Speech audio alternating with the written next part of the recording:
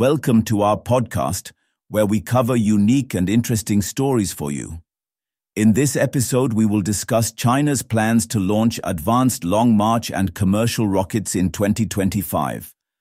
China is set to debut new rockets with advanced capabilities in 2025, including new variants of its Long March series and commercial launch vehicles.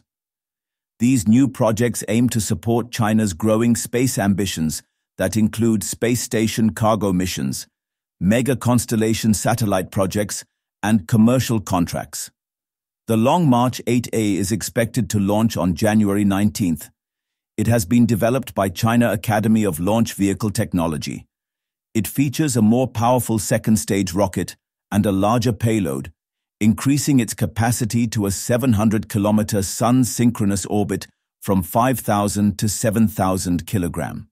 The Long March 12A, a reusable variant of the expendable Long March 12, is also under development. It may incorporate methane liquid oxygen engines and is scheduled for a vertical takeoff and landing test in January 2025. Several Chinese private companies are preparing new rockets to compete in the space sector.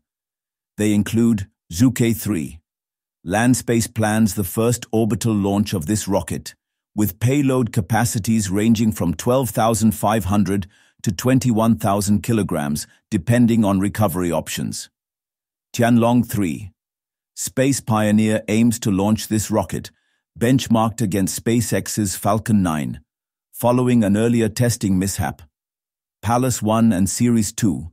Galactic Energy is developing these rockets, designed for reusability and increased payload capacities.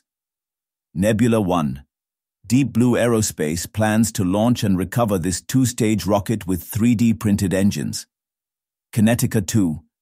CAS Space is preparing this reusable kerosene liquid oxygen rocket to support low-cost space station cargo services.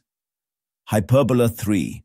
iSpace is transitioning to Kerolox rocket after setbacks with its Hyperbola 1. These new rocket projects aim to enhance China's presence in space, increase launch rates, and lower costs.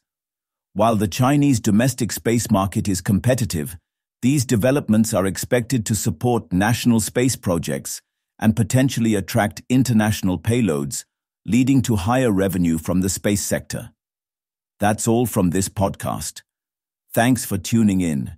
If you enjoyed this episode, be sure to subscribe and share your thoughts in the comments. Stay connected for more exciting discussions and updates in our next podcast.